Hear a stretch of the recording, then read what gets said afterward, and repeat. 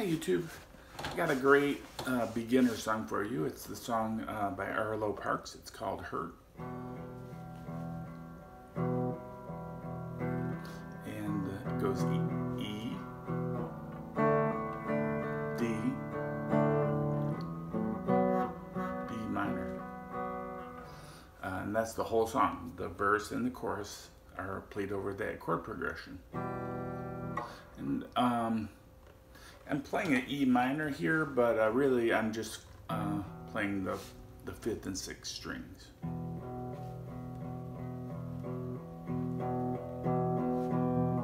If you were playing on your acoustic, you might want to get more strings involved. Um, but it's an E minor, just uh, pushing down the uh, fifth and fourth strings at the second fret.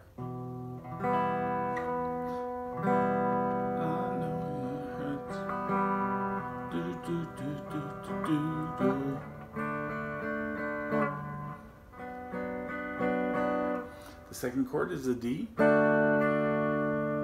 It's just that triangle shape on the, we're gonna play strings uh, mostly four and three. Again, if you're on acoustic, you might wanna play all, all four strings.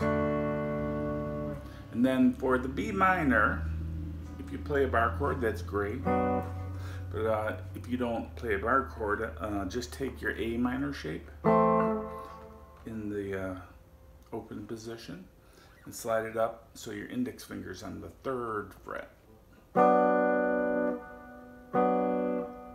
And uh, just play strings four, three, and two. That, that chord in the song is really um, just the stab. So it sounds pretty good. You just play those strings.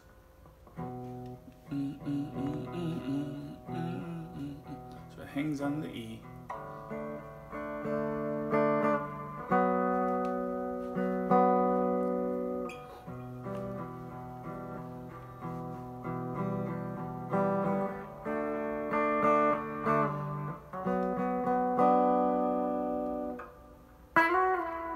They played this little uh, sliding riff at the fifth and the top two strings. And they slide uh, to the third to the fifth, back to the third kind of happens at the end of the verse.